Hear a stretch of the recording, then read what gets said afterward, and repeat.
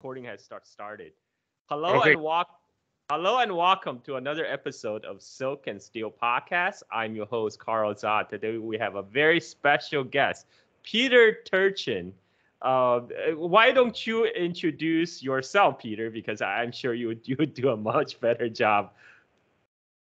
Um, well, I'm um, I'm a scientist. I started my career as a theoretical biologist but about 25 years ago, I switched into historical social science that we call cliodynamics, from Clio, the muse of history. So essentially, um, what I'm doing is I'm a, a complexity I'm a complexity scientist who studies the history of uh, large-scale human societies. Um, and you, I actually have been following you and your work on on your blog and you, you the, you, the I'm very glad that your uh, your people reach out to me on the internet and sent me your latest yet to be published book, End Time. No, no, it's published. It came out two days ago. Oh, two days ago. Okay, I'm already behind. See, um, so I read it. I, I, I read it in one day, and this this stuff is like catnip to me. I mean, this is my crack because your your your book actually studies the rise and fall of uh, or you know the, the the oscillations of large complex societies. And this is a question that actually has bothered or, or fascinated chinese scholars for centuries because china having a, such a long history uh, it's very obvious um, to everyone the, the dynastic cycles. Every two to three hundred years there will be a, a cataclysmic collapse and then uh, society is been putting together again and then you go through the cycle. And and it's a, almost an obsession for the chinese intellectia on why this happens and how to prevent it from happening. And and in fact in 1945 uh, a famous chinese uh, educator um, he went to um, Huang Yanpei, who who's actually a part of the 1911 Chinese Revolution to overthrow the last imperial Chinese dynasty. Uh, but in 1945, he went to uh, Yan'an, the communist base, to meet with Mao right after the Japanese surrender. And he posed a question to Mao. He said, "Look, you know, we looking through Chinese history. There's many rise and falls of dynasties. Um, how do we prevent that from happening? How do we how do we get out of that cyclical cycle? And Mao famously said the answer is democracy. You know, if we give masses, if we make masses the true master of destiny, then we will get out of that cycle forever. Now, many people both then and now interpreted Mao's saying as he's talking about American style electoral democracy. And the conclusion is that, okay, Mao is obviously lying. He, he's just trying to win over the Chinese liberals for the incoming Chinese civil war. Uh, but the, the question itself about uh, why it, the, the, the cyclical the cyclical violence happens and and and this is this is stuff that I'm personally interested in because I, I'm a lover of history. And when I find your work, I find that not only are you a historian, but you're actually a pro- applying a scientific approach to history, which I find a, a refreshing and amazing because um, before a lot of what's be presented as social sciences and or political science in the United States, I don't feel like they're real science. I remember when I came to US when I was a 13 year old, you know, I take social science classes in history uh, in class. I'm looking at it. I'm like, this is just history. There's a word science in the social science part. And so, uh, so yeah, I'm very excited. I, I, I read the whole book. It's it's a page turner. But um, why why uh, why don't you tell us more about your work and and and your your latest book?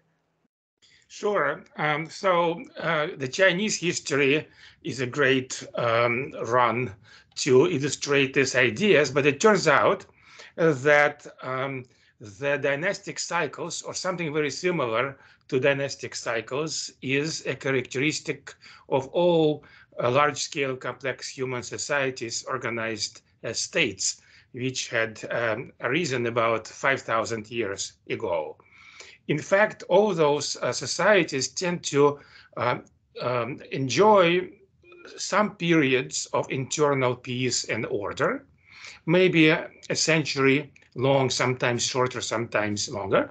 But eventually, they all, at least in the past, they all get into end times, periods of social dysfunction, political uh, disintegration, and often uh, and with a variety of outcomes. You can talk about that because it is not mm, foreordained that a collapse would happen. Collapse does happen, but it's but it is only one of possible outcomes. So examples, more recent examples include not only Chinese Revolution, but in fact a much more, much worse period in the Chinese history, which is the Taiping Rebellion. So we can talk about that later on, uh, because it may not be as familiar to, um, let's say, our listeners as, uh, let's say, the French Revolution, Rus Russian Revolution, and the American Civil War.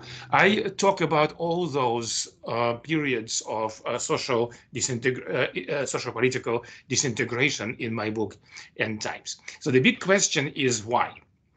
And what we found in the analysis of um, uh, now approaching 200 societies, past societies entering into crisis and then emerging uh, from it, that a common theme is elite overproduction.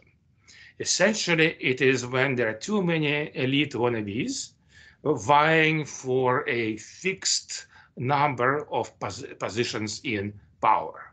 All right, so in my book, I use the, uh, an example of a game, such as a musical chairs game, in which, except and in, in, instead of removing chairs, you keep the number of chairs constant, but you keep increasing the number of players. So some competition is good, but when competition becomes very excessive, then uh, then things start breaking down. So you can imagine you start with maybe 15 people playing this game, then 20 people, 30 people, 40 people. There are four players for each chair, and so very soon uh, one or uh, more players decide to start breaking rules in order to win the game. And this is a good um, uh, it's a good um, model for what happens in real societies that experience this elite overproduction. Because uh, the more elite uh, aspirants you have vying for these positions, the more losers the game creates. And many of those are uh, become angry, discontented, and then uh, decide that they uh, want to get ahead in the game by attacking the, you know, the a governing uh, regime, essentially. So they turn into counter elites, revolutionaries, radicals, and so on. So think about uh, Lenin Bolsheviks, uh, Mao's, uh, uh, communists, um, um, uh, Castro, Fidel Castro's, Los Barbudos, and many other examples of such counter elites. So um, we are uh, in the United States, we have entered this crisis period already.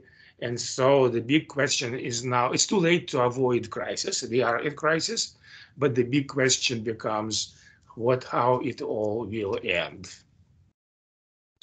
Yes, that's what I want to find out too. As a matter of fact, uh, for the last month, me and a group of friends, we have been running this long Twitter space trying to figure out what's what's going on in the United States? I mean, there's it's obvious to everyone something is wrong. Uh, but we're trying to, you know, get in, into the weeds of it. What went wrong? But you actually cover this on a macro scale. You you you you you you you look at this as a you know as not individuals who is are pushing for the change, but rather the the collective um, actions of the all these what you call elite aspirants um, on the on the system as a whole. And you, in fact, your last book, um, uh, your previous book, actually predicted the turbulent turbulent 20s at the 20 and, the 2020 start with a ban of course you know we got to january 6th and and so I, you know i'm interested you know it's part particular think a lot of my listeners well on you know what is going on in united states and what we could look forward to in the future. I think that you, devote a whole chapter, you know, chapter eight, where you talk about uh, how your model will predict um, about about U.S. Can you talk a little bit about about the, the predictions, model predictions? Yes, sure. Well, um, but uh, so I wrote an article which was published in 2010 which had this forecast that uh, by 20 in the next decade is going to be a period of increasing social political instability. All right so that's what i said. So let's um, unpack this. Uh, where did this uh, prediction come from? First of all i want to say that um, i'm not um, a um, um, you know, uh, I don't know the future, uh, right? I'm not uh, Hari Seldon, if you know who I'm talking about. Uh, what uh, prediction is limited? Um, first of all, in my view, I have used prediction as uh, in a sense of scientific prediction because I, by that point in 2010, I already had a, there was a theory that ex that explained why um, societies get into these end times. And I wanted to test the theory. And the best way to test whether theory is correct is, you, is using it to make predictions. So that was my ma major motivation. I was not trying to say that this, uh, you know, we have going to have doom and gloom and so on and so forth. I just wanted to see how good is the, our theory in capturing the most important parts of the uh, system dynamics. Secondly, uh, we there's some uh, some things are not predictable. For example, don't ask me to predict who is going to win the presidency in the United States in 2024. All right. So the theory is, as you said, is much more macro level.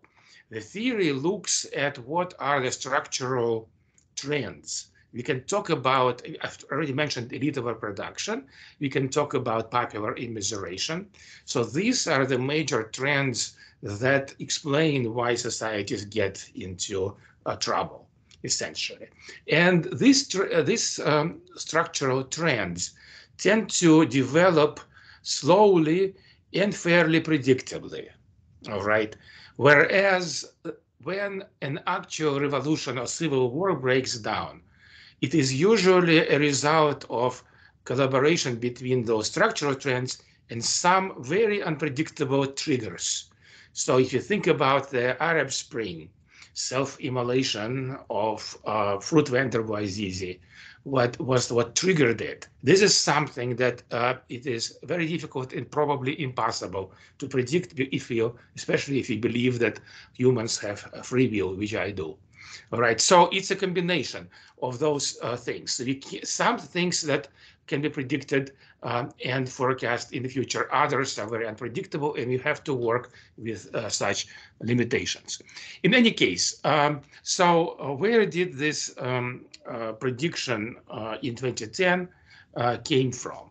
I've been, I and my colleagues have been studying um, past societies getting into crisis. In fact, now we have uh, we have a, a, crisis DB, crisis database, where when I wrote the book, we had uh, we, we, analyzed the first hundred societies. Now it's approaching 200 societies, uh, sliding into crisis and coming out of it. So now we can get both statistics, and um, also we can start uh, testing the different explanations. Well, we have already started testing the different explanations about why societies get into crisis. As I said, the most uh, uh, common theme, in fact, it's ubiquitous, is elite overproduction. The second uh, very frequent uh, occurrence is what we call elite, what we call popular immiseration. So let me explain that. Let's use the example of uh, United States. Um, up until 1970s in the United States, we had really uh, a long period of unprecedented, broadly based well-being. It's often called the glorious 30 years from 1945 to 1975. During this time, worker wages grew together with the economy. And then during the late 1970s, they stopped growing the economy continued uh, going up, but the wages stagnated and even declined. And all that uh, extra wealth that was created by workers, it had to go somewhere. It did not go to the state, which kept the pretty constant uh, proportion of GDP. It went to the economic elites. All right. So what happened was that essentially a perverse wealth pump was turned on, which started pump, pumping wealth from the workers to the uh, economic elites. Now, that is bad uh, for the stability of societies because you, first of all, create large, the, uh, the majority of the population is getting immiserated. And this immiseration is a very real thing. We know about, for example, the deaths of despair especially after 2000, it became very clear the suicide rates increased, uh, alcoholism uh, abuse and drug abuse. Uh, and those were all expressions of uh, a malaise, you know, affecting large uh, swaths of the American population, especially the 60% of workers, working class, um, those people who don't have a college degree. All right, so that's that's one of the forces underlying the forecast. the second one is, uh, this is obvious one. The other less subtle, uh, the other one more subtle effect is uh, the overproduction of wealthy individuals. This wealth had flown to a class of uh, newly wealthy people. And suddenly, if you look at uh, uh, very rich people who have $10 million or more of wealth. Their numbers over a 40-year period of time exploded. They increased tenfold. The population grew only by 40%, but the number of the of those deca millionaires grew tenfold. Now you would say, oh well, this is the American dream, people getting wealth and so on. Uh, what's bad about it? Well, it's good for those people, of course, but it's bad for the society. The society becomes top heavy. And what uh, is the most direct uh, problem? Well, many of those wealthy people, they are interested in competing for political offices. So think about Donald Trump, of course, is a great example, but also we have many other um, multi-billionaires or billionaires, Michael Bloomberg, and unsuccessful ones like Steve Forbes, and so on and so forth. So now you have increased the number, the potential pool of such political aspirants tenfold. And so, but the positions, uh, you know, still one president, you know, 100 senators, and so on, they have stayed constant. So suddenly, we have this elite overproduction, a game of musical chairs, where there are huge numbers of uh, people uh, who want to get into positions, but the positions have not changed. And so more and more people are turned away. And some of them decide to break the rules. All right. And so that's historically, this has been uh, the major driving force resulting in the rise of uh, radical revolutionary groups and uh, dissidents and so on and so forth. So this is the second problem. And let me briefly say the third problem is that now that uh, the majority of population their well-being is uh, declining, uh, and the technical term for that is precarity. More and more people are leading very precarious life, and many of them want to escape that. So if you don't have wealth, how do you escape uh, precarity? Well, you go the education route. And that's why there was a huge push factors to create more and more people with advanced degrees. Now, if you want to become a politician, there are two pipelines leading to it. One of them is uh, you, you use your wealth. The other pipeline is the use credentials, and the most useful credential is, of course, the law degree. Now, it would probably come as no surprise to you that a huge number of famous revolutionaries, so Lenin, for example, was a lawyer, Castro was a lawyer, uh, uh, Robespierre uh, the French Revolution was a lawyer.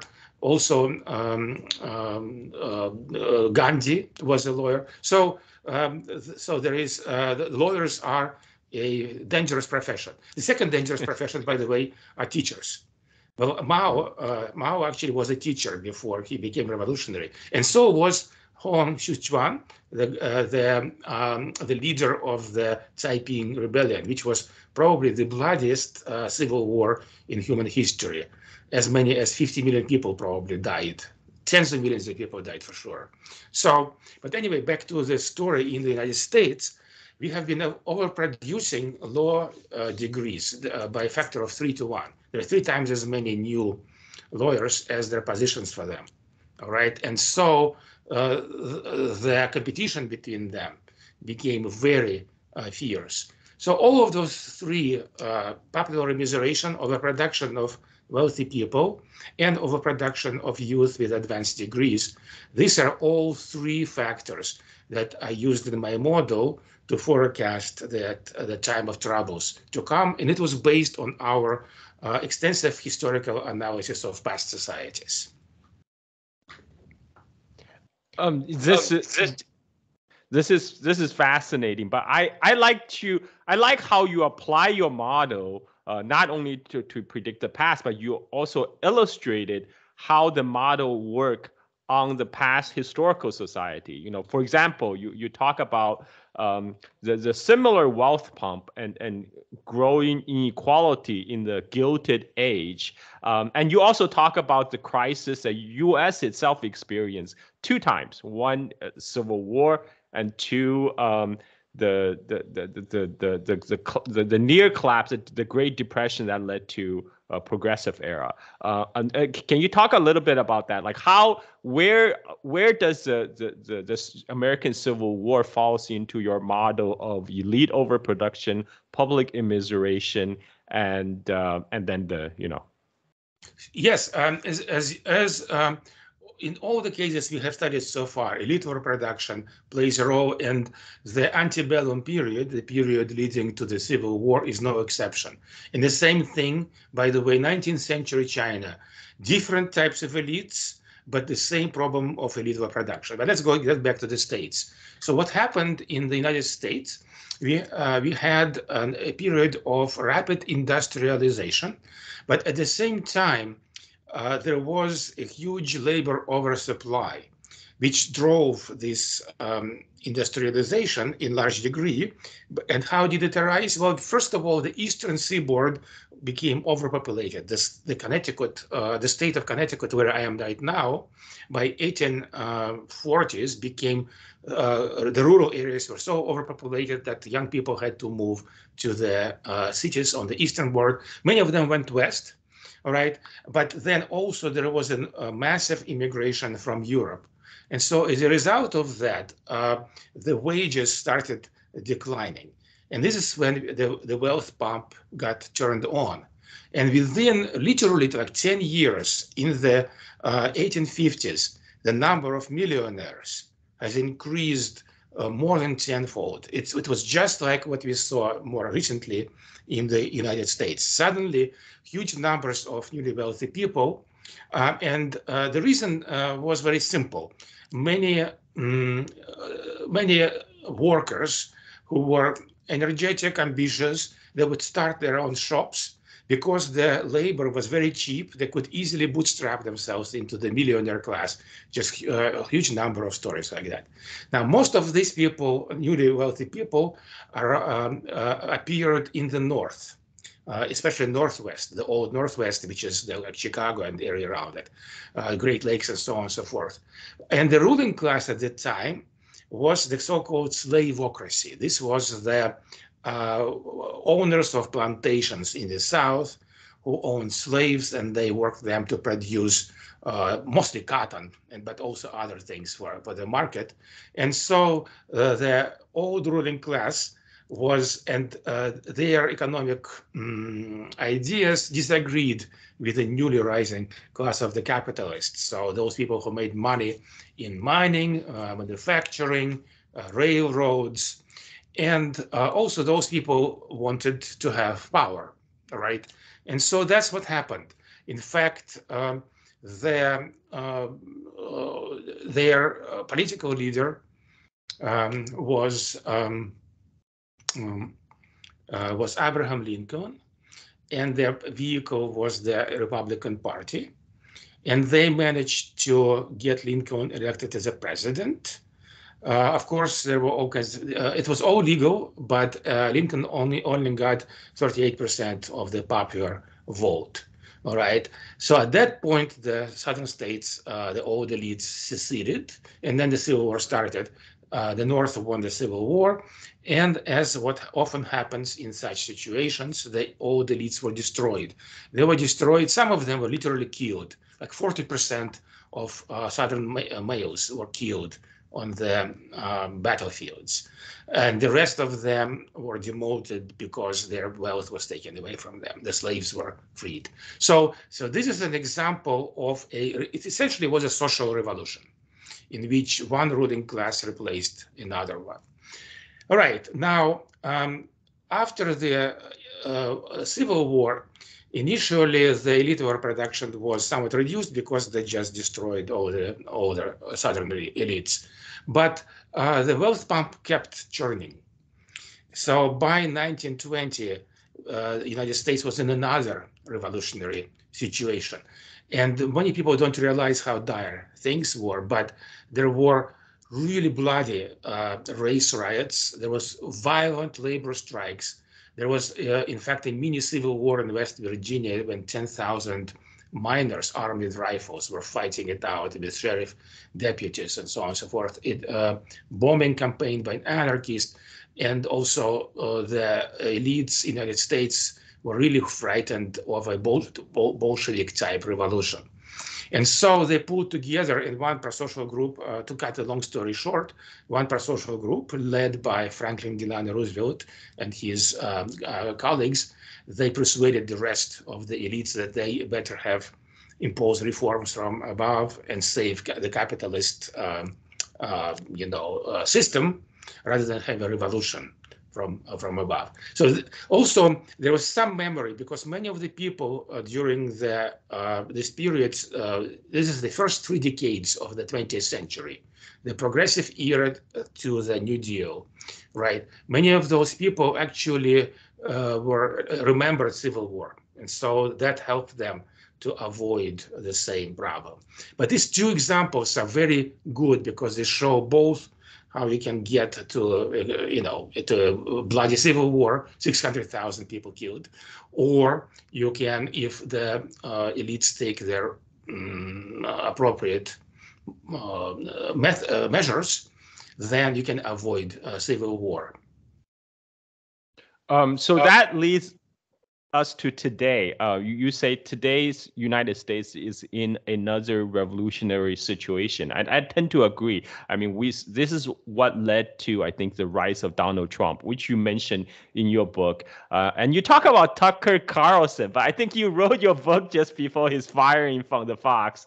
Um, so I don't know if you're gonna update your book soon on that. Um, but you you named Tucker Carlson as a very dangerous person because he uh, um, almost alone in the uh, uh you know as a, a, influential pundit is calling out a lot of the social ills in the United States. You know, he's he's he openly calls uh you know U.S. is being ruined by its ruling class.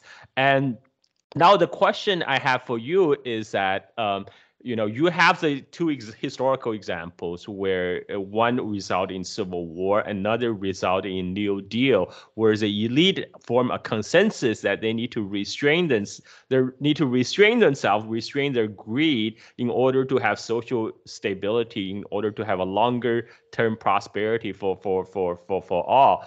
Um, but right now, in as of 2023, today, I I don't think we have we reached a position where there is a elite consensus on what to do in America, and, and, and it seems like the elite is pretty divided at this. Well, they're they're they're they're pretty divided on social issue, but you are also right. They're pretty united when it comes down to uh, defend their very narrow self-interest. That means you know cut taxes. They're pretty, pretty they, they all pretty seem pretty uniform in backing uh, measures like cut taxes um, leaves their wealth alone. And and but but they're they're just fighting like social battles. That's why we're seeing the intensification of cultural war right now. So where do you see going forward? Uh, i mean what do you does your model predict Well, um, okay, again, remember the limits to predictability, but unfortunately, I must agree with you. I don't see any signs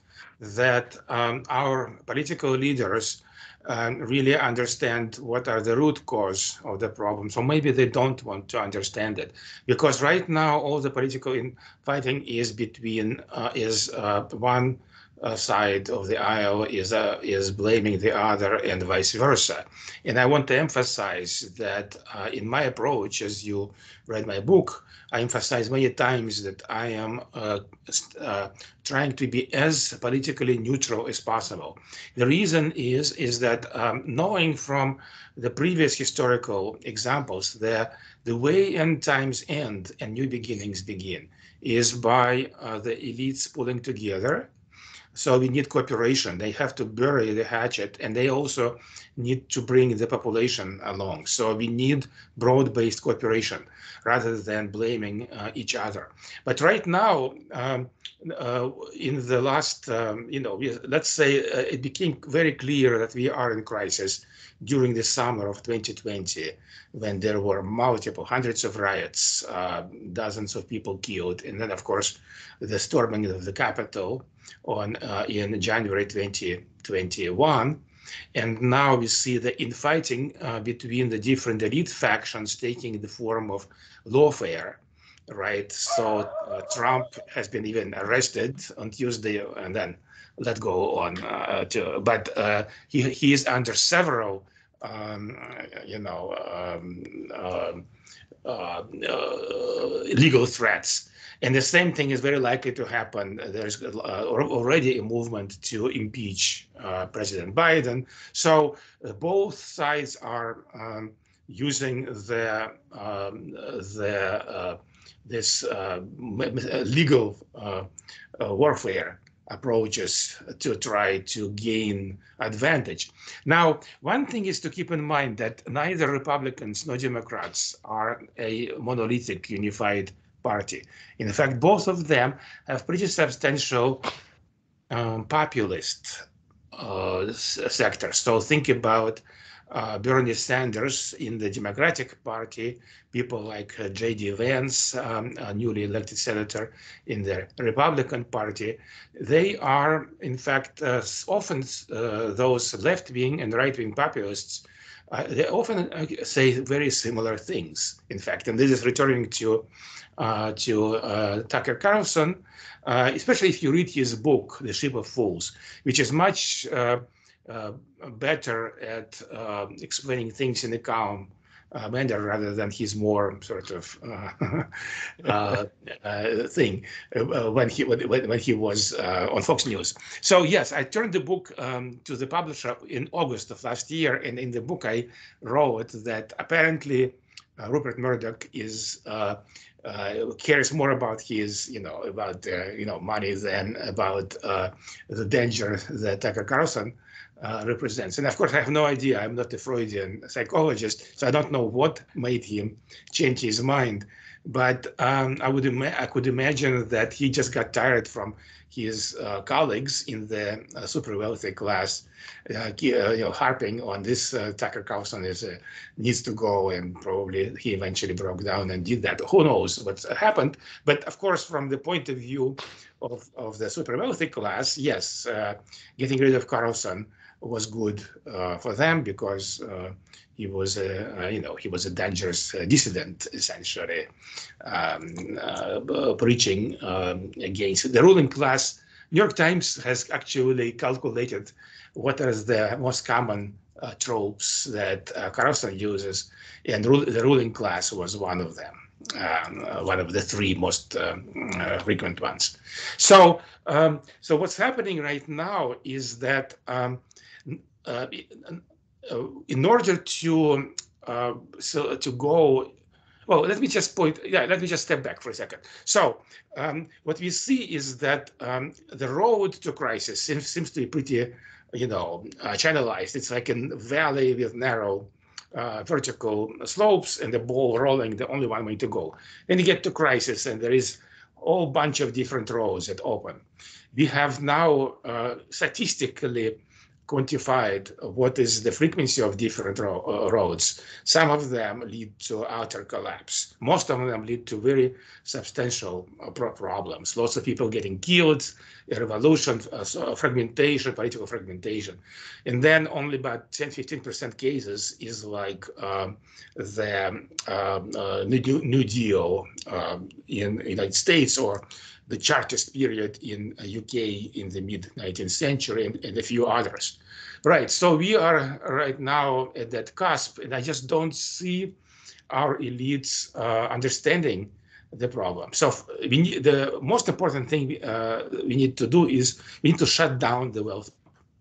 If we do that, that first of all, that will start uh, bringing the uh, well-being of the gen of general population up. Um, secondly, it will shut down the um, the elite overproduction, although that would take um, many years. But still, this is what we need to do. I don't see any evidence of that. So the taxes are on the uh, wealthy are not being raised. The uh, minimum wage uh, continues to decline in real um, purchasing power. The worker uh, uh, power is very limited right now in so they cannot push their demands so i'm not saying that we have to do exactly the same thing that United States did uh, in the 19, um, you know, 20s and 30s, especially 30s, during the New Deal, because the country is very different. But we know it's possible to shut down the wealth pump without a social revolution. When we, and I don't see any evidence of uh, our elites uh, doing any, any of that. They're all preoccupied in the internecine infighting. Yeah, and yeah. what's interesting in your book, you talk about it seems like it's a populist right wing that's seizing all the revolutionary potential of the masses right now.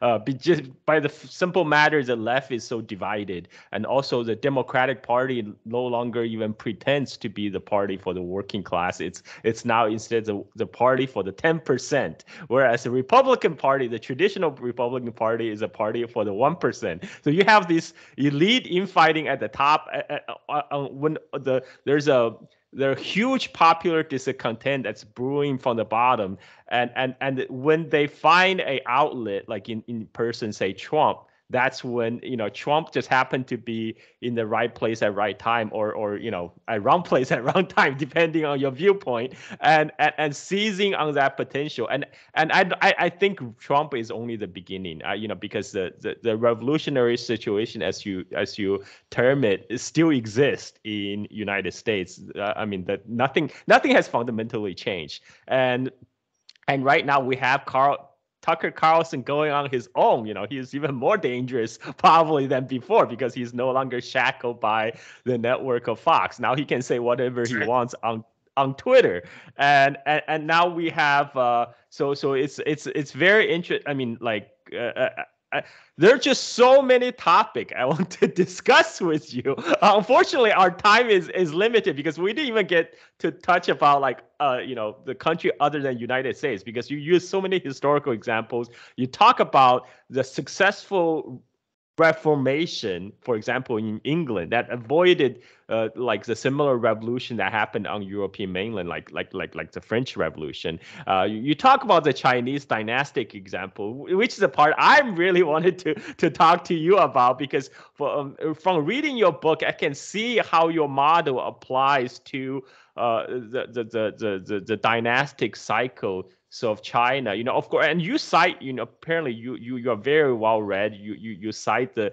example, the works of Ibn Khaldun, which is like one of the earlier historians who who study this dynastic cycle and so and, let me ask you actually because I, I i'm not very familiar with the current situation in china. Now that you've read the book what do you think um, about how uh, does it apply to china and whether many people as you know there is a whole like cottage industry in the uh, in the United States. Uh, every year there are 10 books published about how China is about to collapse. All right. I don't quite see it because, uh, but on the other hand, you know the situation much better. What What is your thinking about uh, what's happening in modern, in contemporary China? Well, the, the simplest way I, I, I say is, you know, people talking about China is going to collapse. But, but if you look at the dynastic terms, right, you know, usually a Chinese dynasty lasts about 250 to 300 years, right? China right now is only like, what, 70, 70 odd years into the Red Dynasty.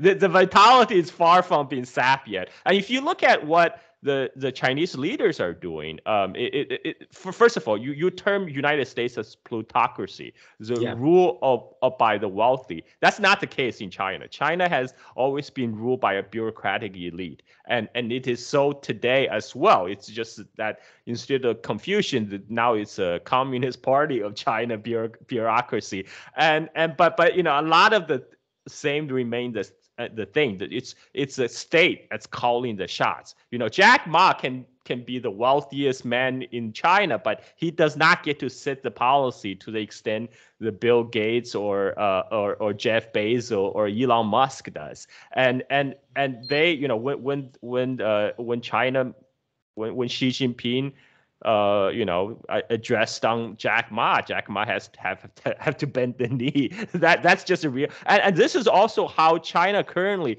is keeping, uh, you know, what Xi Jinping has done since his rise to power in 2012 can be seen in the light that he's curbing the growth of China's economic elite. He's he's putting a, a curb on the power of uh, China's economic elite, likes of Jack Ma.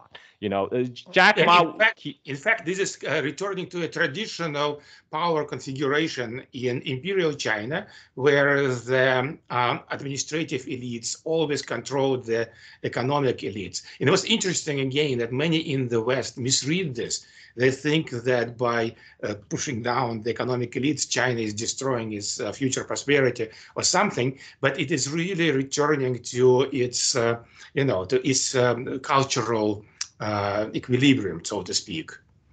Exactly, and and there were signs of uh, elite, top elite disunity, not just before uh, Xi Jinping rise to power, there was a very serious uh, incident where there was a rumor of a coup, and and there was another uh, challenger in the form of uh, party secretary from my hometown of Chongqing, but he has been arrested. Um, you know that that elite infighting for all purposes is is over. Xi Jinping now remains in control, very much in control, and and they and, and what Xi Jinping is talking about building common prosperity. He's actually talking about redistributing some of the the wealth that has been generated in China in the last 40 years to to um to the masses you know uh, to, to he's re he's pri- he's cutting the, the wealth pump. He's redirecting some of that wealth to the to the to the people or uh, common people of china away from people yes, like because Jack over the past um, uh, uh, 40 years or so, the um, e economic inequality in China has increased, as we know. Yes. So uh, clearly, Xi Jinping is uh, planning to reverse that um, trend. Yes, that's that's that's what his policy intend to do. And uh, I know you have to go soon, but oh man, there's just so much I want to talk to you about. So I would like to invite, to extend my invitation to you right now to be a guest on my uh, show on TNT Radio, which I host every Saturday. Um, uh, um, it, it, might be a little bit late for you though. It's uh, it's one to two. It's one to two p.m. Beijing time, but we can always pre-record. We can always pre-record because I know you're you're you're probably on the East Coast, right? In in US. Uh, so yeah. we're like 12, 12 hour time difference. Uh, but I we, we can pre-record because I do want to continue our conversation. This has been a fascinating journey through history and, and science. You know, two of my passions. You you you you ticked off all my check boxes. So I I I very much would like to continue this conversation on uh, East Wind with Carl Zha on TNT Radio. Um, you know, I'll, I'll, I'll make sure I'll make the proper arrangement with your people. Uh, is there any uh, last uh, last word? Like, if people want to reach you, follow your works, where do they go? Well, um, I think um, we have touched on many things that I discuss in the book End Times, but really uh, we could we only scratch the surface.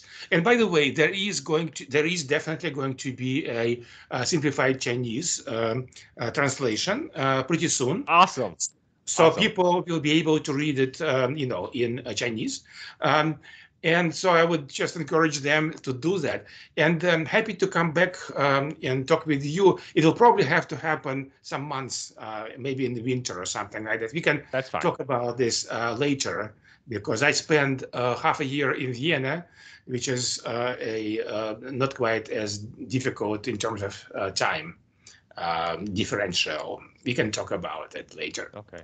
Well, actually, I'm going to be in Russia in next couple of weeks, so maybe maybe that will be closer in the time zone. We'll, we'll figure it out. And uh, and and and and so so your book again. Uh, let let my listener know what's your book names and where to find it. So it's called End Times, uh, Elites, Counter Elites, and the Path to Political Fragmentation. So right now, it's been it has been published both in the U.S. and in UK. So depending on which, uh, you, you if you are in Europe, then uh, you uh, you should go to the UK um, variant. But also, um, my agent has sold rights to like ten different uh, languages, including Chinese and so your readers uh, will be able to to read the book uh, in uh, their native language hopefully soon Uh, and what what about your past books? I mean, like, uh, would you recommend them as well? sure yes so Yeah. uh, well, first of all uh, my previous popular book is called ultra society and you can get it through the amazon uh, that's uh, that's the, the easiest way. You can get either ebook or uh, paperback through the Amazon. So in Ultra Society, I talk about the other big side of my research because I'm interested not only why large-scale complex societies get into end times, but how did they evolve in the first place? All right. So Ultra Society is about that. And then, um, if you are interested in the science underlying uh, end times, then I published a book in 2016. In fact, it came out just two months uh, before Donald Trump was elected the president. It's called Ages of Discord. You can also get it through, easiest is to get it through the Amazon.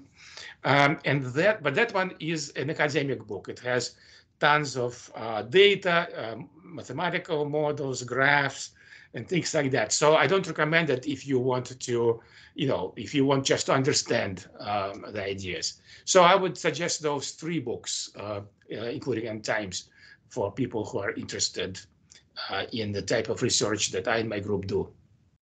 And I definitely recommend End of Times. It's a page turner. Uh, I, I I finished everything in one day, so I, I highly recommend Yeah. People people. I mean, it's not just talking about United States. It's talking about whole wide swath of world history. You know, we, we are talking about United States today just because most of my listeners, uh, you know, most of my audience are Americans, and, and the U.S. is what interests them. But uh, yeah, yeah, let's let's continue this conversation uh, in another time because there's just so much to, to talk about. You know, when when you're talking about um, predicting different path of the future uh, in your book, you you you cited Asimov, but I was thinking about Dune. I was thinking about when like Paul Muad'Dib, he when when he could see the different different futures. And and, and except you know you didn't have to take large quantity of drugs to come up with that. You have a scientific model. So i uh, this is a fascinating conversation. Thank you again peter for coming to coming to silk and steel to talk about it. And i hope to talk to you again on on tnt radio soon Great. Enjoy the conversation, Carl. okay thank you